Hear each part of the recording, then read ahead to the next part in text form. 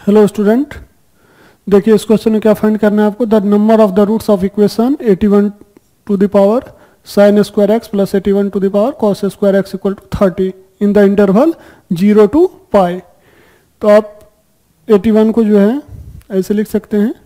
81 to the power sine square x plus eighty one to the power one minus sine square x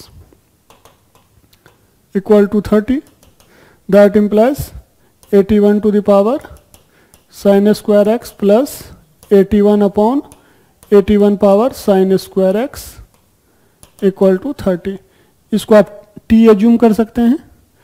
Let 81 power sin square x equal to t.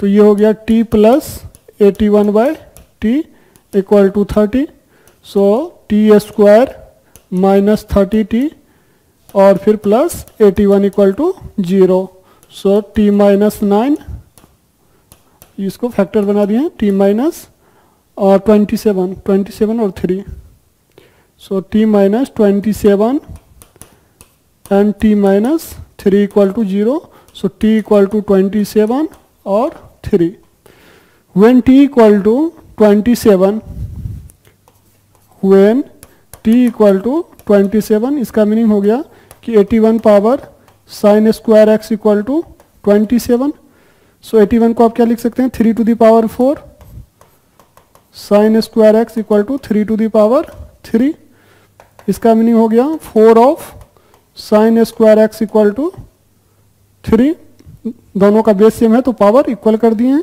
तो sine square x equal to three by four तो sine x equal to plus minus root three by two अब zero to pi में sine का value क्या होता है? Positive होता है। तो sine x equal to only root three by two आ जाएगा। इन ज़ीरो टू पाई में और क्या क्या एंगल आएगा आपका? तो एक एंगल आएगा सिक्सटी डिग्री और दूसरा आ जाएगा आपका वन ट्वेंटी डिग्री तो वो भी लिख सकते हैं। So x equal to pi by three and two pi by three two value यहाँ से आया।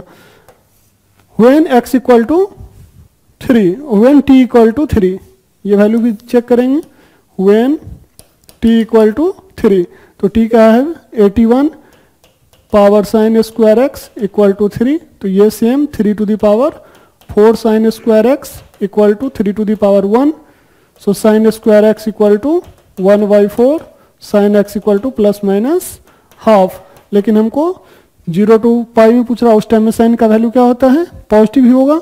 और एक्स का वैल्यू क्या क्या मिलेगा आपको? इन ज़ीरो टू पाई में pi by six and five pi by six तो टू वैल्यू यहाँ पे और टू वैल्यू यहाँ पे। तो टोटल नंबर ऑफ़ वैल्यू कितना हो गया? अगर नंबर बोलेगा तो नंबर कितना हो गया? फोर सॉल्यूशन हो गया।